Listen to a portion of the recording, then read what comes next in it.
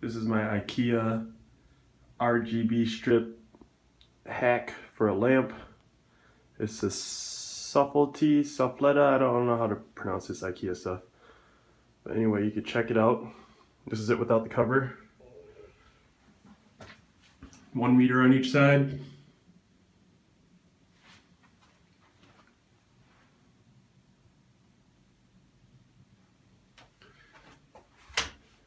Light on.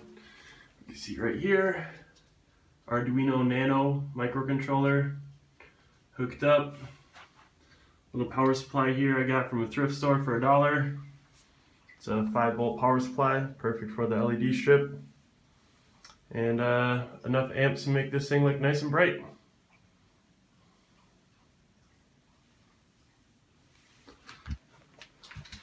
So, we'll put the cover on and we'll uh, show what it looks like then. Alright, and here we are with the cover on. It's an IKEA lamp. Looks pretty dope. We get in here closer. This is the side where the LEDs should be shining through directly. You can't really see them. The light is diffused really well. Go on the other side as well. Uh, the thing that's nice is this lamp has a double diffusion kind of. You can see it's got this inner cylinder here. And then it's got a, a, a, wider one on the outside. So it's got two diffusion methods. So that's why it just looks so nice and smooth.